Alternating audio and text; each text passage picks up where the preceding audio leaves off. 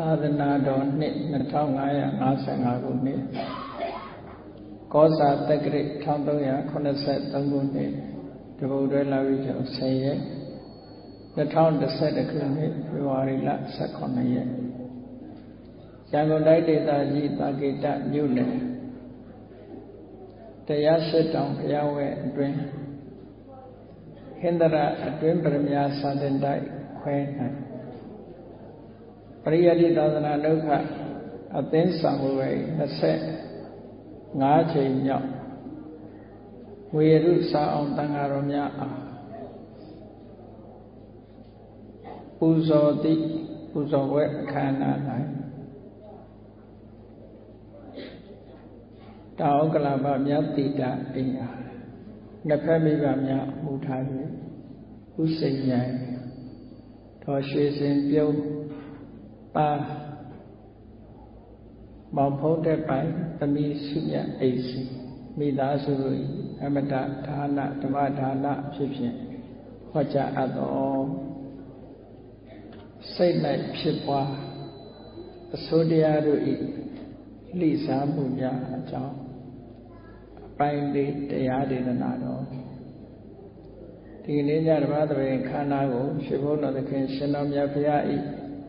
မဟာကရုဏာကုံကိုအာယုပြုကာတိကျူဖွဲ့ဆိုအပ်သောဝန္ဒနာပနာမအာတိတကာထာကိုရွတ်ဆိုပူဇော်ခြင်းဖြင့်စတင်ကြရအောင်ယောကပကောတိဟိပိယပမိယံကာလံကရွန်တော်တိဒုက္ခရာနိ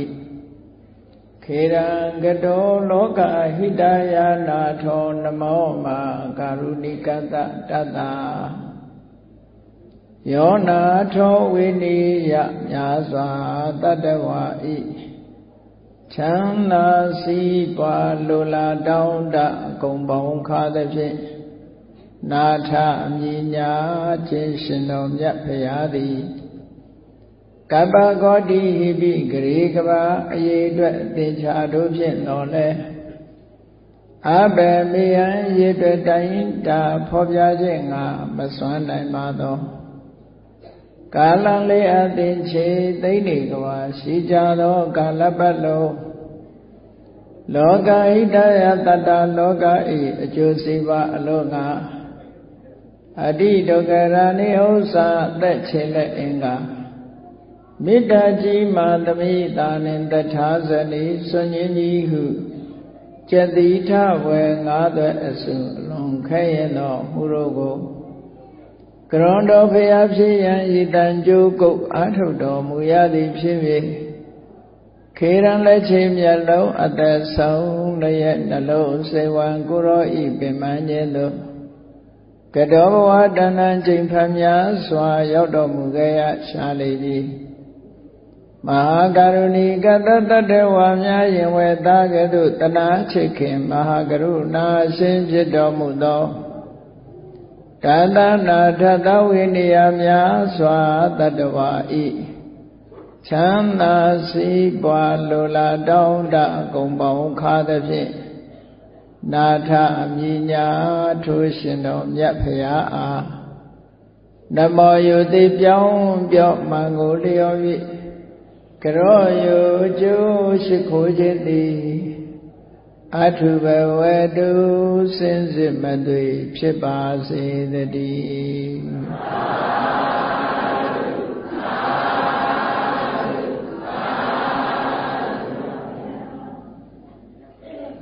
စိတ်၌ဖြစ်ပွားအစိုးတရားတို့ဤလှိစားမှုများအပိုင်းလေးလောကမှာ အစစ်နဲ့အတုအမတန်တူညီသည့်အတွက်ကြောင့်အတုကိုအစစ်ထင်တော့အောင်အမြင်မှာမှားသွားနိုင်တဲ့အခါဒါအတုကအစစ်ရောင်ဆောင်ပြီးတော့လှည့်စားသွားတယ်လို့ဒီလိုပြောလူတွေရဲ့အမှတ်တင်ညာဆိုတာ တခါတရံကြတော့အာနေတတ်တယ်အမှတ်တင်ညာဆိုတာအာနေသည့်အတွက်ကြောင့်အထင်အမြင်ဟာတူတာနဲ့တွေ့လာလို့ရှိရင်မိမိသိမှတ်ထားတဲ့အရာလို့မှတ်ယူတတ်တယ်အဲ့ဒါလို့မှတ်ယူပြီးတော့အထင်ဟာတကယ်အမြင်ပေါ်မှာဆွဲပြုပြီးတော့ အထင်မှားသွားတာမျိုးရှိတယ်ဒါကြောင့်မို့လို့ဒီအစစ်နဲ့အတုဆိုတာမျိုးဟာရောထွေးပြီးတော့သွားတတ်တယ်အကောင်းနဲ့အဆိုးကလည်းပဲထို့တူပဲစင်စင်တူတဲ့အရာများဆိုလို့ရှိရင်အဆိုးကိုအကောင်းထင်သွားအကောင်းကိုဆိုးထင်သွားအောင်လှည့်စားသွားတတ်တယ်လို့ လှည့်စားတယ်ဆိုတဲ့နေရာမှာမိမိရဲ့တတိတရားတို့စင်ကြင်တုံတရားတို့အားနေတဲ့အခါမှာအမတ်တင်ညာရဲ့လွယ်မှားမှုကြောင့်လှည့်စားတယ်လို့ဒီလိုသုံးတာဆိုပါစို့တန်လျက်ကိုရေထင်တဲ့ရွှေသမင်အလိုက်မှားဆိုတဲ့မြန်မာစကားမှာနေဘူးရှိန်ဟပ်ပြီးတော့ မြေပြင်မှာတလတ်လတ်ဖြစ်နေတဲ့အရာအဝေးကနေကြည့်ရင်လှိုင်းကြရထနေတဲ့ရေပြင်ကြီးလို့ထင်ရတယ်တန်လျက်ကဒါလှည့်စားတယ်လို့ခေါ်တာအဝေးကနေကြည့်လို့ရှိရင်မြစ်ကြီးတစ်မြစ်ကိုတွေ့နေရတယ်လို့ပဲတန်လျက်တွေရဲ့အခိုးအရှိန်တွေကတလတ်လတ်ဖြစ်နေသည့်အတွက်ကြောင့်ရေပြင်ကလှိုင်းကြရကလေးတွေလို့ အဝေးကအမြင်မှဒီလိုထင်ရတယ်တကယ်အနိကရောက်သွားတဲ့အခါကျတော့ဘာမှမရှိတဲ့ကုန်းခေါင်အောင်ကြီးဖြစ်နေတတ်တယ်ဒါမျိုးကိုလှည့်စားတယ်လို့ပြောတာအဲ့ဒါလို့လှည့်စားခံရလို့လွဲမှားသွားပြီဆိုရင်အင်တမနစ်နာအင်တမနစ်နာအဲ့ဒါကြောင့်မလို့လှည့်စားမှုတွေမခံရအောင်အစင်နဲ့အတု အကောင်းနဲ့အဆိုးဆိုတာတတိထားပြီးတော့ခြိချရဒီထဲမှာပို့ပြီးတော့အရေးကြီးတာတော့ကိုယ်စိတ်ထဲမှာဖြစ်ပေါ်လာတဲ့ကုသိုလ်တရားနဲ့အကုသိုလ်တရားကောင်းတဲ့အရာနဲ့မကောင်းတဲ့အရာ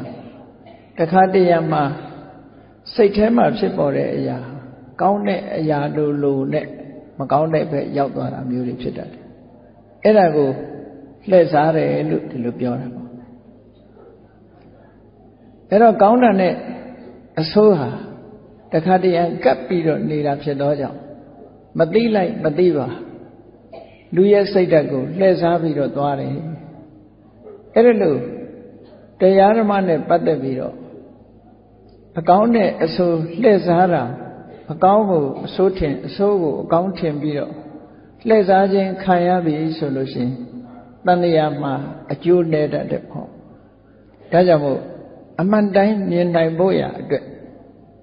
ပိုင်ပိုင်ခြားခြားသိတတ်ဖို့ရအတွက်ဘုန်းကြီးတို့တွေတတိတံပစင်ညတရားကိုထားကြရတာဖြစ်တယ်ပေါ့လုံလောက်တဲ့အခြေအနေတွေရအောင်စီးပူအထောက်ကြဒါကြောင့်မို့မြတ်စွာဘုရားကမဟာတတိပဋ္ဌာန်းတုတ်မှာတတိနဲ့တံပစင်ညအာယုံပေါ်မှာစူးစိုက်တည်နေမှုဆိုတဲ့တတိထိုအာယုံရဲ့တဘာဝအစစ်မှန်ကို ဆင်ញင်ခြင်းလို့ဆိုတဲ့တံပစင်ညဒီတတိတံပစင်ညတရားနှစ်ပါးကိုယ်စိတ်ထဲမှာဖြစ်ပေါ်အောင်ကြိုးစားရမယ်မကြိုးစားဘူးဆိုလို့ရှိရင်အစိုးတရားတွေရဲ့အကောင်းရောင်ဆောင်ပြီးတော့လှည့်စားသွားမှုကြောင့်အကောင်းမဖြစ်ဘဲနဲ့အဆိုးကိုအကောင်းထင်ပြီးတော့အလိုက်မှားတဲ့အခါဒုက္ခရောက်သွားနိုင်တယ်အဲ့ဒီလှည့်စားမှုတွေဟာဘယ်ထိအတိုင်းတာအထိရောက်တယ်လဲလို့ဆိုလို့ရှိရင်ကြည့် မိမိတဏ္ဍာမှာရှိတဲ့ယုတ်တရားနံတရားတွေရှင်းရှင်းလင်းလင်းဓမ္မရူပပြိစေရညာယုတ်နဲ့နံကိုကွဲကွဲပြားပြားသိတယ်ဆိုတဲ့အသိထိုယုတ်နံတွေဟာဘာကြောင့်ဖြစ်တယ်ဆိုတဲ့မှန်ကန်တဲ့အကြောင်းတရားကိုသိတဲ့အသိဒီအသိတွေမရှိဘူးဆိုလို့ရှိရင်ဒီယုတ်နံတွေပေါ်မှာငါလို့ထင်တယ်ငါဥစ္စာလို့ထင်တယ်တရဝါလို့ထင်တယ်ယောက်ျားမိန်းမဒီလိုထင်ပြီးတော့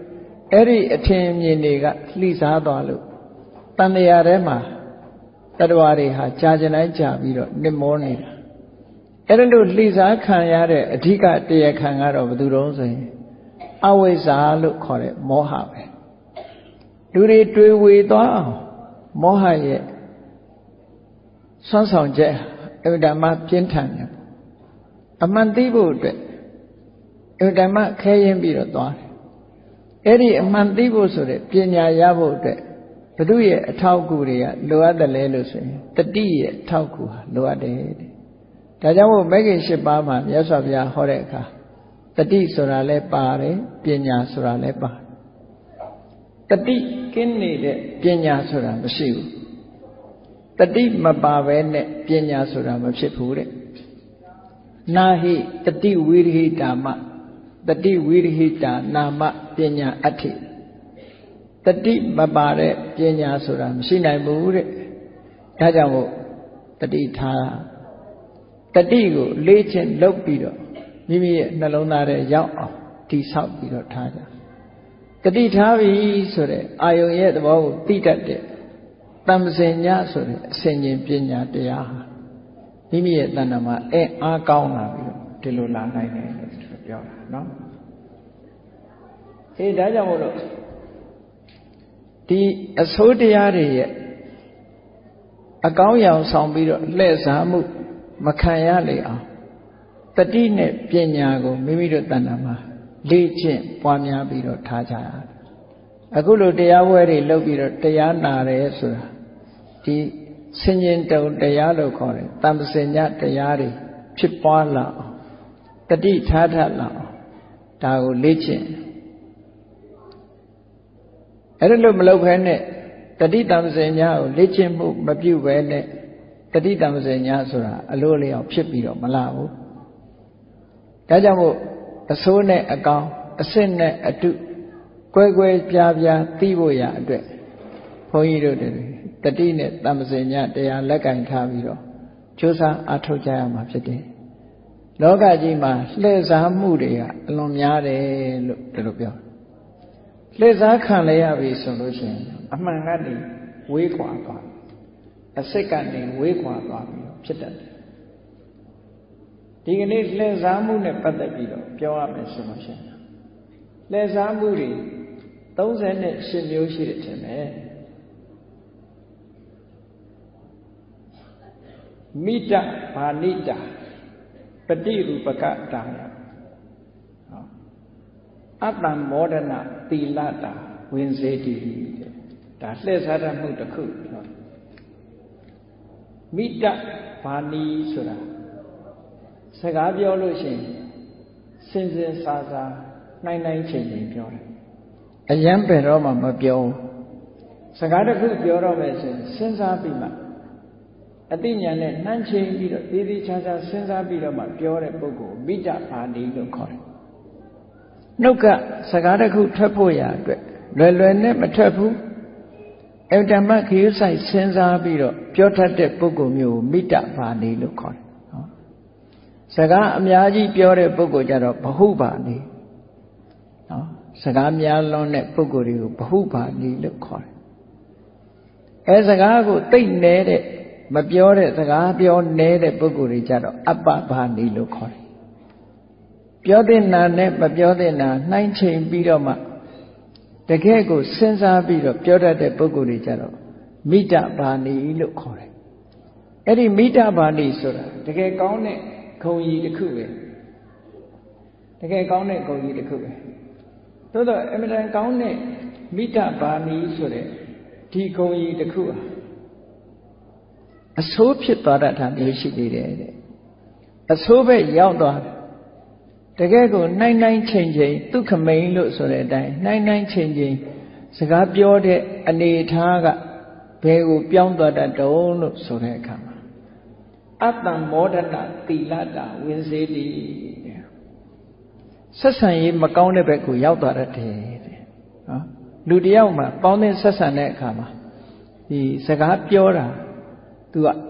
အတွေးလွန်ပြီးတော့ကိုယ်စကားကိုတန်ဖိုးထားလွန်အားကြီးပြီးတော့ဒီလိုပြောပြန်တဲ့အခါကျတော့လူမှုဆက်ဆံရေးပိုင်းရောက်တဲ့အခါဒီလူကနော်ဆက်ဆံရေးမကောင်းဘူးဆက်ဆံရေးညံ့တယ်လို့ဆိုတဲ့အနေအထားမျိုးထိအောင်ရောက်သွားတတ်တယ်အဲ့တော့အတ္တမောဒနာသီလဆိုတာဝမ်းမြောက်အောင်မပြောနိုင်ဘူးဝမ်းမမြောက်ဘူးဆိုတဲ့အနေအထားတစ်ခုဟာ တစ်ဖက်သားကိုဆက်ဆံရေးမှာတစ်ဖက်သားရဲ့စိတ်ကိုထိခိုက်စေတတ်တာဒါကြောင့်မို့အတ္တမောဒနာသီလလို့ဆိုတယ်ဆက်ဆံရေးမကောင်းဘူးပြပြပြပြမပြောတတ်ဘူးဆိုတဲ့အနေအထားတစ်ခုဟာကောင်းတဲ့အရာမဟုတ်ဘူးပေါ့အဲ့တော့မိတ္တဘာဏီဆိုတာအမတန်ကောင်းတယ်နိုင်နိုင်ချင်းချင်းပြောတာအမတန်မှကောင်းတယ်သို့တော့နိုင်နိုင်ချင်းချင်းပြောရမယ်ဆိုတဲ့အကောင်းဟာဘာဖြစ်တုံဆို ဆက်ဆံရေးညံဖြစ်နေဆိုတဲ့အနေအထားမျိုးကိုရောက်ရှိပြီးတော့အဲ့ဒါနဲ့ရောထွေးပြီးတော့လှည့်စားသွားခံရတယ်တဲ့ဒီလိုဆိုလို့တာနော်အဲ့တော့မိတ္တဗန္တိဟာကောင်းမိမဲ့လို့ပြပြပြပြပြောတဲ့ပြောရမယ်ဆိုတဲ့တမ္မောဒနာသီလနှုတ်ဆက်စကားပြောတယ်ဝမ်းမြောက်ဝမ်းသာစကားတွေပြောတယ်အမှတ်ရမယ့်စကားတွေပြောတယ်ဆိုပါစို့ တယောက်နဲ့တယောက်တွေ့လို့ရှိရင်မြတ်စွာဘုရားကိုယ်တိုင်တောင်မှပဲတမ္မောဒနိယံကထံတာရဏိယံဘုရားကိုယ်တိုင်ကဝမ်းမြောက်စရာစကားပြောတယ်တတလုံးအမှတ်ရမယ့်စကားမျိုးတွေကိုပြောတယ်တဲ့နော်မိတ္တဘာဏိပုဂ္ဂိုလ်ကဒါတွေပြောနေအလကားပဲလို့ဆိုပြီးဆိုပါစို့တချို့တလေလည်းအဲ့လိုမျိုးရှိတတ်တယ်လူတွေ့တဲ့အခါကျတော့နေကောင်းရဲ့လားကျမ်းမာရဲ့လားအဆင်ပြေရဲ့လားဆိုတချို့က ပြန်ပြီးတော့ပြောတတ်သေးတယ်နေကောင်းလို့ပဲဒီရောက်နေတာပေါ့လို့ဒီလိုပြန်ပြောတဲ့လူရှိသေးတယ်နော်အဲ့တော့ဒါကလောကဝတ်အနေနဲ့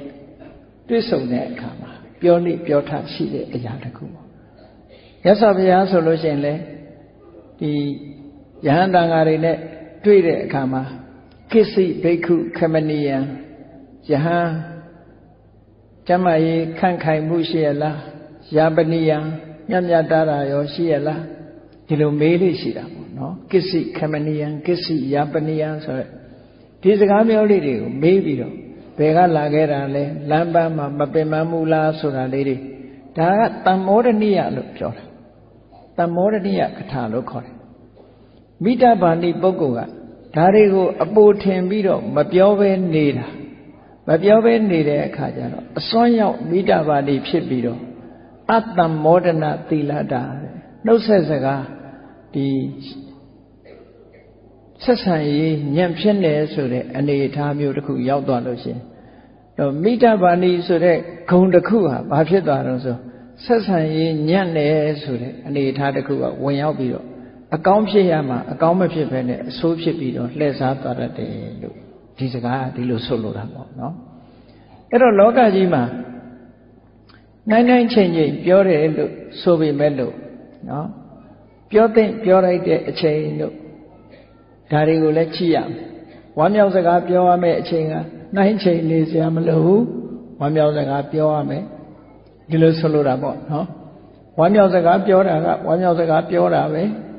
မိတ္တဗာဏီအကြောင်းအရာတစ်ခုကိုလေးနဲ့ထားပြီးတော့နိုင်နိုင်ချိန်ကြီးပြောတယ်ဆိုတာနိုင်နိုင်ချိန်ကြီးပြောဒီနှစ်ခုဟာတစ်ခုနဲ့တစ်ခုနော် လွဲမှားပြီးတော့လွဲချော်မသွားစေရဘူးသို့မဟုတ်အစွန်းမရောက်စေရဒီလိုဆိုအဲ့တော့အစွန်းရောက်သွားလို့ရှိရင်အကောင်းဟာအဆိုးဖြစ်အကောင်းကအဆိုးပဲရောက်သွားတာတယ်ဒါကိုပြောတာစာပေကျမ်းကမှာမိတ္တဘာနိတပฏิရူပကတာယနိုင်နိုင်ချင်းချင်းပြောတယ်ဆိုတဲ့အနေထားနဲ့အသွင်သဏ္ဍာန်တူသောအဖြစ် အတ္တမောဒနာတိလတာပြည့်ပြည့်ပြည့်ပြည့်ဆက်ဆံမှုမပြုလေရှိသည်အဖြစ်ဆိုတဲ့ဆက်ဆံရေးညံ့ဖျင်းမှုအဆိုးတရားကဝင်စေတိလှည့်စားသွားတတ်တယ်သူကဝင်သွားတဲ့အခါကျတော့အကောင်းမဖြစ်တော့ဘူးအဆိုးဖြစ်သွားတယ်ဒီအသေးတွေကိုဖော်ပြတာနော်အဲ့ဒါကိုပဲအပြန်အားဖြင့်တခါထပ်ပြောပြန်တယ် တမ္မောဒနာတိလတာပฏิရူပကတာယမာယာပါထေယင်စဝင်စေတိတမ္မောဒနာသူကဆက်ဆံရေးကကောင်းလွန်အပ်ချီနော်တချို့ကြတော့လေတမ္မောဒနာတိလတာဆက်ဆံရေးကောင်းရမယ်ဆိုတဲ့အတိုင်းပဲလောကဝတ်ပြူပြူငါငါအပြောလွန်အားကြီးတဲ့အခါကျတော့လေဘာဖြစ်တုံဆိုဒီလူက မာယာများတယ်လို့ကောက်ကျစ်ဆင်းလဲတယ်ဆိုတဲ့အနေအထားမျိုးတွေကဝင်ရောက်ပြီးတော့လှည့်စားသွားတာသိတယ်ဒါလည်းတတိထားရမယ့်အရာတစ်ခုပဲဒီလိုဆိုတာနော်အဲ့တော့လောကကြီးဟာဒီအကောင်းနဲ့အဆိုးဆိုတာအမြဲတမ်းရောထွေးနေတာအစ်စ်နဲ့အတုကလည်းအမြဲတမ်းကတ်နေတာဒါကြောင့်မို့ကိုယ်ဝေချနာကစိတ်အစ်စ်ရလိုက်တာကစိတ်အတုဝေချနာကရွှေအစ်စ်ရလိုက်တာကရွှေအတုဘာဖြစ်လို့ အစ်စ်နဲ့အတုခြားထဲမှာလှည့်စားမှုလေးတွေရှိတယ်ဆိုအဲ့တော့တန်လျာခရီးကိုလျှောက်တဲ့အခါမှာအစ်စ်ရဖို့မေတ္တာမအရေးကြီးတာဒီတဲ့ပို့ခက်ခဲတာဆိုပါစို့စိတ်အတုပဲရလိုက်တယ်ဆိုတာတဘောပဲနစ်နာတယ်လို့ပြောရရွှေအတုရလိုက်ရင်လည်းတဘောပဲနစ်နာတယ်ဒီလိုပြောတဘောတောင်တဘောလုံးမဟုတ်ဘူးအေး တရားအတုမမမကန်နဲ့တရားအတုတရားအစစ်နဲ့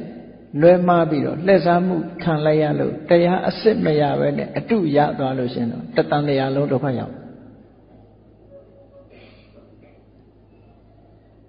အဆိုးကိုအကောင်းထင်ပြီးတော့လိုက်နာကျင့်သုံးနေမယ်ဆိုလို့ရှိရင်ကိုလှုပ်တာတော့အကောင်းလို့ထင်တာသို့တော့ရလိုက်တာကအဆိုးတွေလှည့်စားမှုဆိုတာ ဘာသာတရားတွေမှာလည်းပဲလှည့်စားမှုဆိုတာရှိအမြဲတမ်းကြောက်ဆက်အကောင်းနဲ့ဒါတွေကအမြဲတမ်းကြောက်ဆက်အကောင်းမမမကန်ဒါကြောင့်မို့လို့မမမကန်ဟောပြောတဲ့ဘာသာတရားတွေယုံကြည်လက်ခံမိပြီဆိုလို့ရှိရင်တန်လျာမှာနစ်သွားတာဒုက္ခရောက်သွားတာအဲ့ဒါကြောင့်မို့လို့ဒီလှည့်စားမှုတွေမခံရအောင်ဘုန်းကြီးတို့တွေဟာအခုလိုတရားပွဲတွေလုပ်ရတယ်တရားနာရတယ် ပညာဘုဒ္ဓတာတွေစီးပူးရတယ်အရာရာမှာတတိထားတတ်ရမယ်ဆင်ញင်တုံတရားရှိရမယ်ဆိုတာဒါအရေးကြီးတဲ့အချက်တွေလို့ဒီလိုပြောတယ်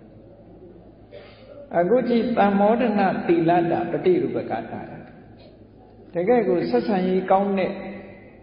ဆက်ဆံရေးကောင်းတယ်ဆိုတဲ့အတုအရာအပေါ်ယံကြည့်လိုက်လို့ရှိရင်တော့ဆက်ဆံရေးကောင်းတာဒီလိုပါသိဆက်ဆံရေးကောင်းတယ် ဆက်ဆံရေးကောင်းတော့အားကြည့်တဲ့အခါကျဟုတ်တာရောမဟုတ်တာရောနော်ဟုတ်တာရောမဟုတ်တာရော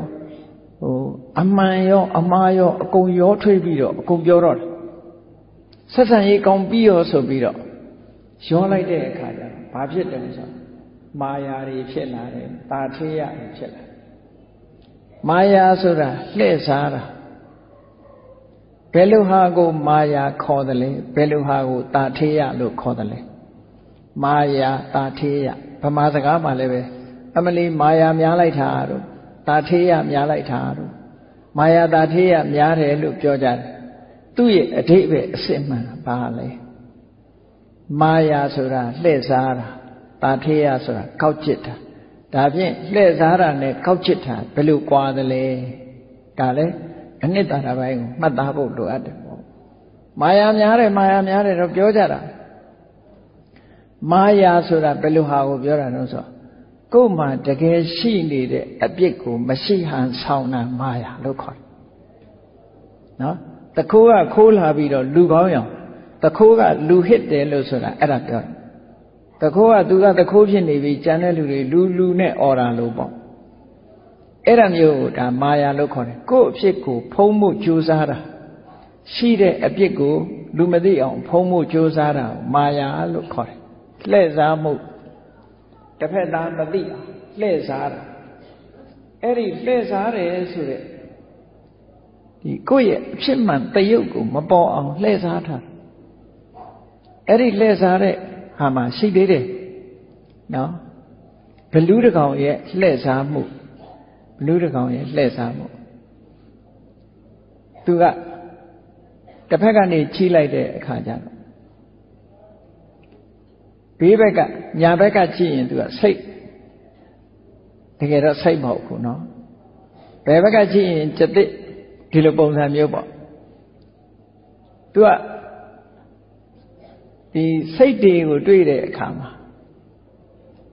စိတ်ဘက်ကနေလှည့်ပြလိုက်တော့ စိတ်တွေဟာဒါတို့အဖို့ပဲလို့တို့ဖို့ပဲဆိုပြီးတော့အနာချင်းကပ်လာတဲ့အခါဖမ်းပြီးတော့စားလိုက်ဒီလိုဟာမျိုးပေါ့အလုံးကကြားဘူးကြလိမ့်မယ်ဘာတဲ့တော့လင်းတို့နဲ့လင်းတို့ဆိုတဲ့အကောင်ကလည်းပဲပုံတရံကကြွက်နဲ့နည်းနည်းဆင်းတယ်နော်လင်းတို့အခွန်တောင်းရင်ကြွက်ရောင်ဆောင်တယ်ကြွက်ကိုအခွန်တောင်းရင်လင်းတို့ရောင်ဆောင်တယ်ဆို ပြောတာအဲ့ဒါမျိုးကိုလှည့်စားတာလို့ဒီလိုခေါ်တယ်အဲ့ဒါလို့လှည့်စားမှုမျိုးလှည့်စားပြီးတော့တရားတွေကိုဖန်ဆာတတ်တယ်နောက်တစ်ခါဒီမွေရဲ့ခေါင်းနဲ့ခေါင်းရှိတဲ့ဒီအမီးကတော့ငါးရဲ့အမီးပဲ ခေါင်းကတော့မွေနော်ခေါင်းကတော့မွေမွေနဲ့တွေ့ရင်သူကခေါင်းကိုဖော်ထားတယ်အမီးကိုဖုံးထားငါးနဲ့တွေ့တဲ့အခါကျတော့အမီးဘက်ကပြဖုံးကြတာကိုပြောတာနော်ဟန်ဆောင်တာငါးအုပ်နဲ့တွေ့ရင်ငါလည်းငါးပဲဆိုပြီးတော့အမီးပိုင်းကိုပြမွေတွေနဲ့တွေ့လို့ရှိရင်မွေအုပ်စုနဲ့တွေ့ရင်သူကခေါင်းကိုပြသူလည်းပဲမွေပဲပေါ့ အဲ့ဒါလို့နဲ့လှည့်စားတာမျိုးတွေဒါတွေအလုံးကိုမာယာလို့ခေါ်တာကိုယ်အပြစ်ကိုတီလာမရှိတဲ့တစုံတစ်ခုမကောင်းမှုလှုပ်ထားတာနော်တစုံတစ်ခုမကောင်းမှုလှုပ်ထားတာကိုလူမသိအောင်ဟန်ဆောင်ဖုံးကွယ်မှုတွေကိုမာယာလို့စာပေကျမ်းကမှာဒီလိုသုံးဒါမာယာနောက်တစ်ခုတာထေးရဆိုတာဘယ်လိုဟာတော့လို့ဆိုမရှိတဲ့ခုံကိုအရှိလုပ်ပြီးတော့ဖော်ပြ ကို့မှာကိုချင်းတီလာမရှိဘူးမရှိတဲ့ကိုချင်းတီလာကိုဘေးကလူကတီလာရှိတယ်လို့ထင်အောင်လုပ်ပြကို့မှာတမာရီမရှိဘူးမရှိတဲ့တမာရီကိုဘေးလူတွေကရှိတယ်လို့ထင်အောင်လုပ်ပြဟန်ဆောင်လုပ်ပြမရှိတာကိုအရှိထင်အောင်လုပ်ပြတာကိုတာထေးရတယ်နော်ရှိတဲ့အပြစ်ကိုဖုံးကွယ်ဖို့ကြိုးစားတာကမာယာလို့ဒီလိုမာယာနဲ့တာထေးရအောင်ခွဲပြီးတော့ထားတယ်ဒီနှစ်ခုဟာနှစ်ခုစလုံးဟာ လိန်လီလှိစားကောက်ချစ်ခြင်းပဲဖြစ်တယ်ပေါ့ကောက်ချစ်မှုပဲဖြစ်တယ်ဒါကြောင့်မို့တမ္မောဒနာသိလားဆက်ဆံရေးကောင်းတယ်လို့ဆိုပြီးတော့ဆက်ဆံရေးကောင်းတယ်လို့ကောင်းမှုဟာဂုံတင်စရာဖြစ်ပေမဲ့လို့သူပြောတဲ့စကားတွေကကိုယ့်ကိုယ်ကိုဖုံးကွယ်ပြီးတော့အပြစ်ကိုဖုံးကွယ်ပြီးတော့ဆက်ဆံရေးကောင်းတဲ့စကားတွေပြောပြန်လို့ရှိရင်မာယာဖြစ်ပြန်တယ်ပေါ့နော် ကိုမရှိတဲ့ဂုဏ်တွေကိုအရှိလုပ်ပြီးတော့ဆက်ဆံပေါင်းတင်ပြောဆိုတဲ့အခါကျတော့တထေးရဖြစ်သွားပြန်တယ်အဲ့တော့အကောင်းဖြစ်ရမှာအကောင်းမဖြစ်ဘဲနဲ့အဆိုးပဲဖြစ်သွားတယ်ဒီလိုဆိုလိုတာအတ္တမောဒနာတမ္မောဒနာတိလအေးဆက်ဆံရေးကောင်းတယ်ဝမ်းမြောက်စကားပြောတတ်တယ်ဝမ်းမြောက်စကားပြောရကနေပြီးတော့မာယာတာထေယဖြစ်သွားတယ်ဆိုတဲ့အခါဝမ်းမြောက်စကားရောင်ရောင်နဲ့ မာယာတာထေယကလှိစားသွားတယ်မာယာတာထေယကျတော့မကောင်းတဲ့အရာဖြစ်သွားတယ်ဝမ်းမြောက်စကားပြောတာကကောင်းတယ်မာယာတာထေယကျတော့မကောင်းဘူးဒီလိုဆိုလိုတာပေါ့နော်အဲ့ဒါလို့လှိစားသွားတတ်တယ်အဲ့ဒါကိုပြောတာတမ္မောဒနာသီလတာပฏิရူပကတာမာယာတာထေယင်စာဝင်စေတိ ဘာမြောက်စကားပြောဆိုလေးရှိတဲ့အနေထားနဲ့အလားတရံတူသောကြောင့်မာယာနဲ့တာထေယဝင်စေတိလှည့်စားသွားတယ်အစ်စ်နဲ့အတုကွဲပြားခြားနာကိုယ့်ကိုဝမ်းမြောက်စကားပြောတယ်ဆိုတဲ့မှန်ကန်တဲ့ခုံကြီးတစ်ခုရအဲ့ဒီလိုမရဘဲနဲ့မမှန်မကန်တာတွေဖြစ်သွားလို့ရှိရင်မာယာနဲ့တာထေယဖြစ်သွားရော ဒီလိုဆိုတော့မာယာတာထေယလှည့်စားထားတာနောက်တစ်ခုလှည့်စားမှုလေးတစ်ခုဘာတော့ဆိုနိကရှဝါဒိတာပฏิရူပတာဖရုတဝါစတာဝင်စေတိတဲ့နိကရှဝါဒီဆိုတာဆရာတွေမိဘတွေတာသမီတွေလိမ်အမာအောင်လို့ဆိုပြီးတော့မှတ်မိအောင်လို့ဆိုပြီးတော့နှိပ်ကွက်ပြီးတော့ပြောတတ်တဲ့လူရှိတယ်။ ချိုးချိုးတာတာနဲ့ပြောပြီးတော့ဖြားဖြောင်းဖြောင်းဖြောင်းဖြားဖြားပြောတဲ့မိဘတွေလည်းရှိတယ်။အဲ့လိုမဟုတ်ပဲနဲ့နေကရှဝါရီဆိုတာကြတော့တစ်ဖက်သားကိုတခါလဲနှိပ်ကွက်ပြီးတော့ပြောတဲ့စကားမျိုးတွေနော်။နှိပ်ကွက်ပြီးတော့ပြောဒါဆရာတွေကလည်းတပည့်ကိုနှိပ်ကွက်ပြောတယ်။မမိဘတွေအကြီးတွေကလည်းပဲအငယ်တွေဒီလိုဟာတွေကမိဘတွေကသားသမီးတွေကိုနှိပ်ကွက်ပြီးတော့ပြောတယ်မှတ်လောက်သားလောက်အောင်နှိပ်ကွက်ပြီးတော့ပြောတဲ့ အရာမျိုးတွေရှိတယ်တကယ်ကတော့နိဂရှဝါဒီဆိုတာနှိပ်ပြီးတော့ပြောတာဟာမကောင်းဘူးလားလို့ဆိုကောင်းတယ်မြတ်စွာဘုရားကိုယ်တိုင်ကိုယ်ကနိတိနံဝပောတာရံယံပတ္တိဝိသတတိနနိဂရှဝါဒိမေရာဝိတဏိတံပါရိတံပစေတာရိတံပဇမနတတေယောဟောတိနပ္ပပိယောမြတ်စွာဘုရားဟောတာနော်အပြစ်ကိုထောက်ပြပြီးတော့ နှိတ်ကွက်ဆုံးမတတ်တဲ့ပညာရှိတဲ့ဆရာမျိုးကိုချင်းကပ်တာကိုယ့်ကိုအလိုလိုက်ပြီးတော့အကြိုက်ပေးပြီးတော့ပေါင်းတင်တဲ့ဆရာမျိုးကိုဆရာမျိုးတော့မလိုက်ပါနဲ့နော်မြတ်စွာဘုရားဟောထားတဲ့တဏှာရှိနော်ဝိသဓာတ်တိအပြစ်ကိုထောက်ပြကိုယ့်ရဲ့အာနိချက်တွေအပြစ်တွေကိုထောက်ပြဝိသဓာတ်တိအပြစ်ကိုမြင်တယ်နိဂရှဝါဒီ နှိတ်ကွက်ဆုံးမမင်းဒီလိုလုပ်ရင်ဘာဖြစ်မယ်ညာဖြစ်မယ်နဲ့ပေါ့နော်ဒီလိုနှိတ်ကွက်ပြီးတော့ဆုံးမတတ်တဲ့ဆရာတာရိတံပဏိတံပစေအဲ့ဒီလိုပညာရှိဆရာသမားမျိုးပေါင်းတင်ဆက်ဆံပါတဲ့သူတို့ကိုငါ့ကိုရွှေအိုးကြီးလာပေးတာပဲလို့ရွှေအိုးကိုထုတ်ဖော်ပေးတဲ့လူလိုကျေးဇူးတင်ပြီးတော့ပေါင်းတင်ဆက်ဆံပါလို့ဒီလိုပြော ကိုယ့်ကိုချိုးချိုးသားသားပြောပြီးတော့အကြိုက်ပေးပြီးတော့ပေါင်းတင်တဲ့ဆရာမျိုးကိုမစိတ်ကပ်ပါနဲ့ပညာရှိမျိုးကိုမစိတ်ကပ်ပါနဲ့ဒီလိုဆိုတာနော်အဲ့တော့မိဘနဲ့သားသမီးဆိုတဲ့ထဲလဲသားသမီးကိုအလိုလိုက်တဲ့အခါကျတော့ဘာဖြစ်လဲဆိုရင်သားသမီးတွေကအလိုလိုက်ရင်အမိုက်စော်ကားဆိုတာမျိုးကဖြစ်သွားတယ်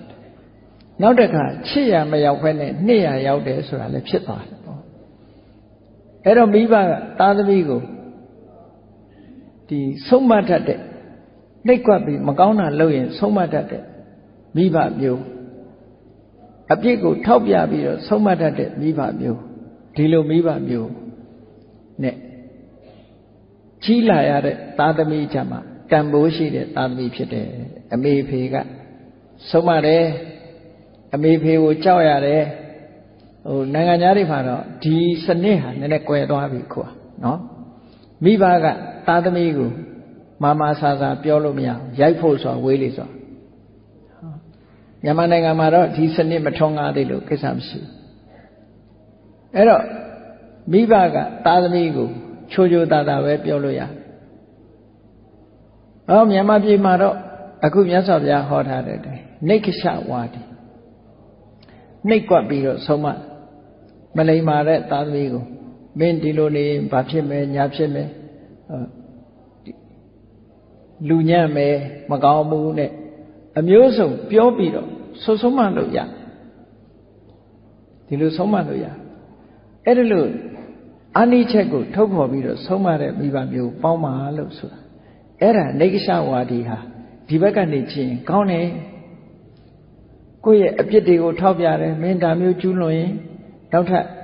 ဘယ်လိုအပြစ်ဒဏ်တွေခံရမယ်အပင်ငရဲကြမယ်ဒီလိုဟာမျိုးဆုံမတဲ့နေကရှဝါဒီဆိုတာအမှန်တမ်းကောင်းတယ်သို့တော့စကားပြောတဲ့အခါမှာနှိပ်ခွက်ပြီးတော့ပြောတယ်လို့ဆိုတဲ့ကောင်းတဲ့အမှုချင်းကဘာဖြစ်လာတော့ဆိုဖရုဒဝါစတာဝင်စေတည်တဲ့လူရဲ့နှုတ်ချမ်းတာကနေပြီးတော့ဒါနှိပ်ခွက်တယ်လို့ဖြစ်သွားတာတဲ့အဲ့တော့နှုတ်ချမ်းမှုဆိုတဲ့ဖရုဒဝါစာတရားက နေကရှဝါဒီဆိုတဲ့ကောင်းတဲ့အခြေအနေတစ်ခုကိုလှည့်စားသွားတော့အဆိုးဖြစ်သွားတယ်ဒါပြောတာ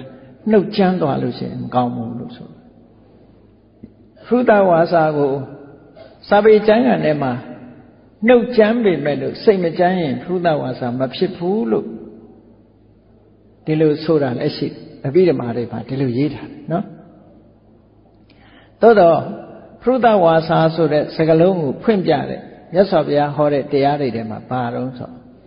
ယာတာဝါစာနေလာပြစ်ကင်းတယ်တဲ့ကန္နဒုက္ခနားချမ်းသာတယ်တဲ့ပောရီ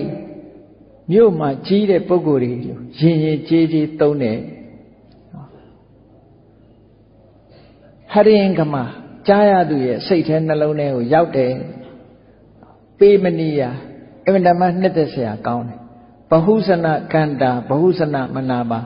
အများကြိုက်တဲ့စကားအများနားထောင်နေတဲ့စကားမျိုးဖြစ်အဲ့ဒီစကားမျိုးမှဖုဒ္ဓဝါစာလွတ်တာနော်ဖုဒ္ဓဝါစာလွတ်တာဆဲရည်တယ်တိုင်းထွာတယ်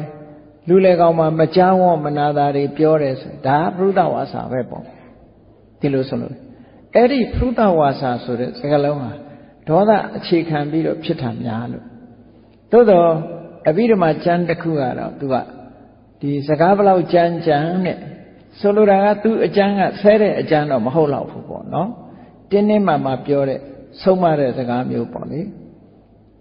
ဥပမာဒီတချို့ဆိုလို့ရှိရင်ဟိုပြောတယ်ပေါ့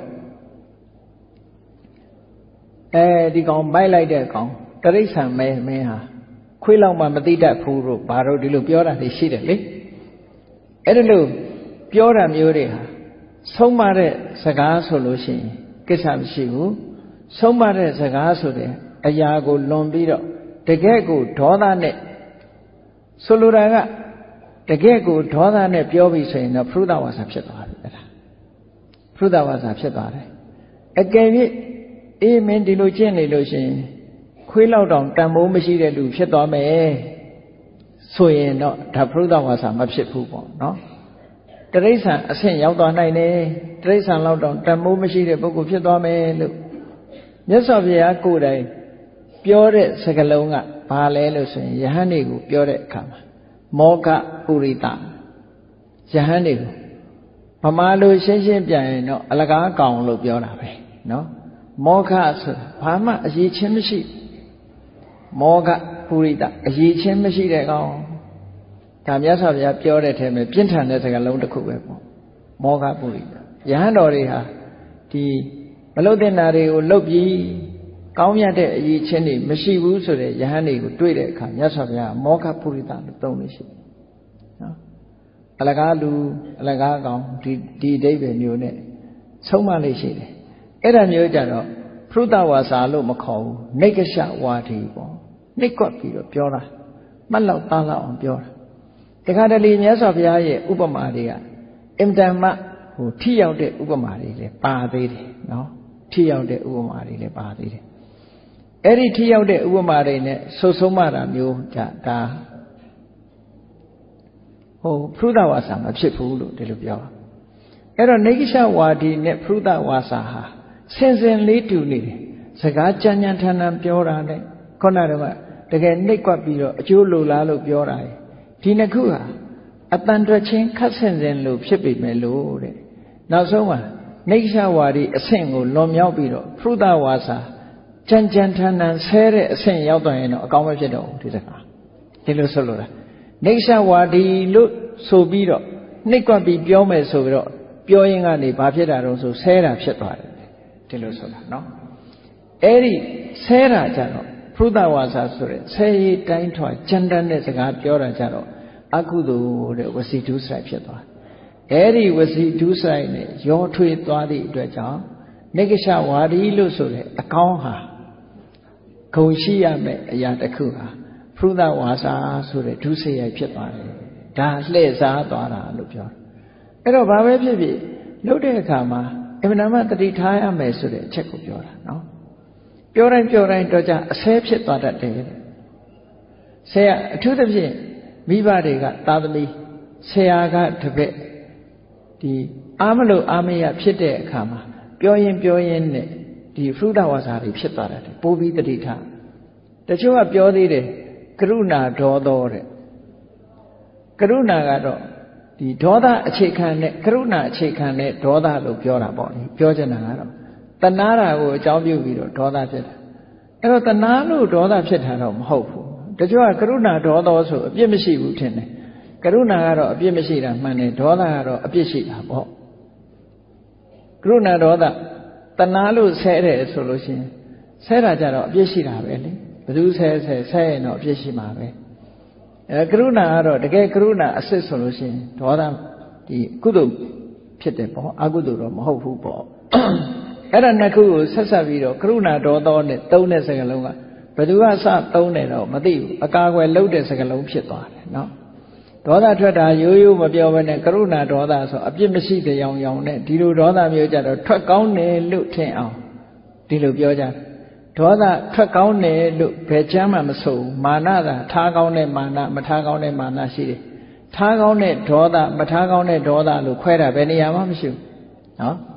ဒေါသမှန်ရင်တော့အကောင်းမရှိဘူးလို့ပဲဒီလိုမှတ်ရ မာနကြတော့အကောင်းရှိတယ်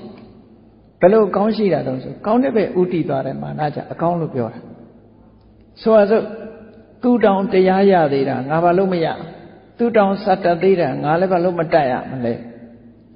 သူရတာငါလည်းရအောင်လုပ်မယ်ဆိုတဲ့မာနမျိုးကြထားတဲ့မာနအညံ့မခံဘူးအကောင်းဘက်မှာပြိုင်မယ်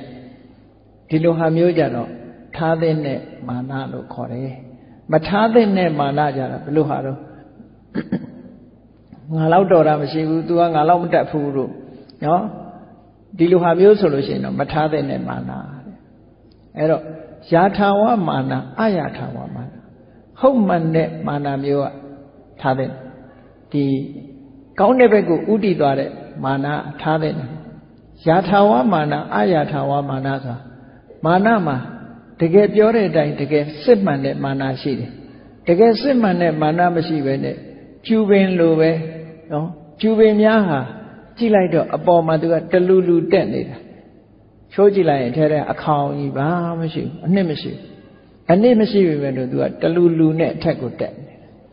အဲ့ဒါလို့စာပေကျမ်းကမှသုံးတယ်အုံနလကျူပင်အလားအထက်သို့တက်သောအချင်းဤသောမာနတရားလို့ဆိုလို့ဆိုလိုတာကလူထဲမှာဘာပညာမှမရှိဘူးဒါပေမဲ့သူကထောင်ထောင်ထောင်ထောင်သိမ့်လုပ်တယ်လို့ဒီလိုပြောတာပြောနော် သူများအထင်ကြီးအောင် ထောင်းထောင်းထောင်းထောင်းသိလို့အဲ့တော့မာနမှာထားတဲ့နဲ့မာနဆိုဒီမှာတိုးတက်မှုကိုလမ်းခင်းပေးတဲ့မာနမျိုးကြတော့ထားတဲ့နဲ့ကြည့်လေဖះအလောင်းတောင်မှပဲသူမိတာယသိဟာဒီပင်ကရာမြတ်စွာဘုရားနဲ့တွေ့တဲ့အခါမှာဘာပြောလဲကိမေဧကေနတိန်နေနပုရိတေနထာမတတိန တဝိညုတံပပုနေတောတန္တာရတံတတိဝကငါလိုစွန့်ရတတိကိုယ်အစွမ်းတတိကိုသိတဲ့လူတယောက်ဟာတူးတဲ့နဲ့ကိုလိုယုံသွားရင်ဘာမှအကျိုးမရှိဘူးတပ္ပယုတဉာဏ်တော်ကြီးကိုရောက်အောင်လုပ်ပြီးတော့တတ္တဝါတွေကိုကဲတင်မယ်ဆိုတာဒီစကားဟာကြည့်ငါလိုစွန့်ရတတိရှိတဲ့ပုဂ္ဂိုလ်လို့ပြောတာဒါမာနမာနစကားလို့ခေါ်တယ်နော်အရေးအချင်းမှာအကယ်၍ ဒီပင်ကရာမြတ်စွာဘုရားရဲ့တပြည့်ခံယူပြီးတော့ဒီပင်ကရာမြတ်စွာဘုရားရဲ့တရားအတိုင်းလိုက်နာချက်သုံးမယ်ဆိုရင်သူယန္နာဖြစ်နိုင်တဲ့အရေးချင်းရှိတယ်အဲ့ဒီမှာရင်ယန္နာဖြစ်သွားမယ်သို့တော့ဒီလိုမထင်မရှားမသွားကြဘူးဒီပင်ကရာမြတ်စွာဘုရားလို့ဘုရားတဆုဖြစ်မှဆိုတဲ့ဒီမာနမျိုးကြတော့မိဝဲလိုက်တဲ့မာနမျိုးအဲ့ဒီမာနရှိလို့ဘုရားဖြစ်အောင်လုပ်ဖြစ်တာစုပန်ဖြစ်တာလို့ဒီလိုပြောရမှာပဲเนาะ အေးဒါကြောင့်မို့လို့အကောင်းဘက်ကိုဥတည်သွားတဲ့မာနာမျိုးကြတော့မိဝဲတဲ့နဲ့မာနာလို့ဒီလိုဆိုလို့အဲ့တော့ဒေါသကြတော့အဲ့ဒါမျိုးမရှိဘူးကရုဏာဒေါသလည်းမရှိဘူးနော်ဒေါသမရှိဘူးဒေါသဆိုရင်မကောင်းတာအကြည့်ဘာလို့လဲဆိုဒေါသရဲ့အဓိပ္ပာယ်ကသူကဘာလို့ဆိုဒုက္ကတိတိဒေါသစိတ်ဓာတ်တွေကိုပျက်စီးတော့အောင်လုပ်လို့ဒေါသလို့ခေါ်တာကိုယ့်ကိုယ်ကိုယ်ရင်ပျက်စီးအောင်လုပ်တာလားဆိုမဟုတ်ဘူး ဒီကိုယ်စိတ်တင်ပျက်စီးအောင်လုပ်တာမဟုတ်ဘူးရုပ်ကိုလည်းပျက်စီးသွားစေတယ်ဒေါသဖြက်စီးတယ်ပတ်ဝန်းကျင်ကိုလည်းဖြက်စီးတတ်တယ်ဒါကြောင့်မို့ဒေါသကိုဥပမာပေးတဲ့အခါဒါဝက်ခိဝိယတောမီလို့ပဲတဲ့ကြည့်လေတောမီဟာလောင်သွားလို့ရှိရင်